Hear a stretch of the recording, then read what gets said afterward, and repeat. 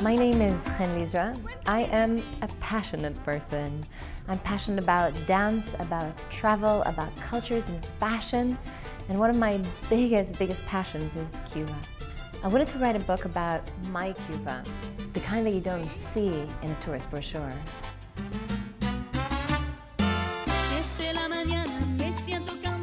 Visually, Cuba is, is, is a colorful place in the expressive faces of the people, the unique old cars, the, the fashion, the art and painting, the, the music, and, and the dance costumes.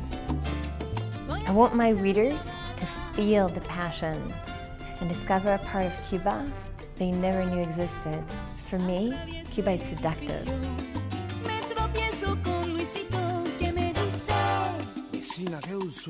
My Seductive Cuba is both a travel guide and a book about arts and culture with unique stories. It's full of passion, but it's also full of sensible advice for travelers. I make it really easy for the first time traveler to visit Cuba and for an experienced one to discover parts of Cuba they never knew existed. I don't think that you've ever seen a travel guide like this before, and especially about Cuba. Besides that, we've put smartphone links inside the book, and we've got an ebook. Mi amor, si tú cocinas como tú caminas. I'm a dancer, I'm an entrepreneur, and I'm a passionate traveler. I teach son and salsa and reggaeton and cha-cha-cha and rumba.